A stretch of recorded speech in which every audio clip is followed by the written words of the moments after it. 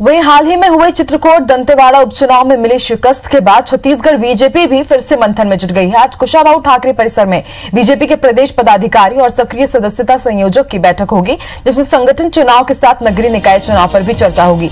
बैठक में बूथ चुनाव की समीक्षा और मंडल चुनाव की तैयारी की भी समीक्षा की जाएगी। सभी संयोजकों को निर्विरोध चुनाव कराने का टास्क दिया जाएगा। बैठक में राष्ट्रीय उपाध्यक्ष रमन सिंह प्रदेश अध्यक्ष विक्रम उसेंडी, नेता प्रतिपक्ष धरमलाल कौशिक और प्रदेश सह संगठन महामंत्री भी शामिल होंगे।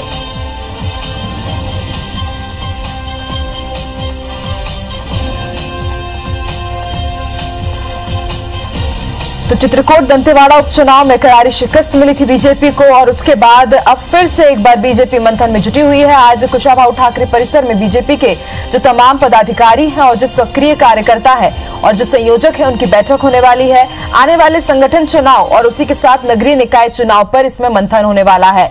इसमें जो टास्क है, वो यही रहेगा कि बूथ चुनाव की समीक्षा की जाएगी और जो मंडल चुनाव होने वाले हैं, उनकी तैयारी की समीक्षा की जाएगी। साथ ही साथ संयोजकों को ये टास्क दिया जाएगा कि चुनाव निर्विरोध किए जाए और इस बार जो रिजल्ट्स आए, वो बीजेपी के पक्ष में आए।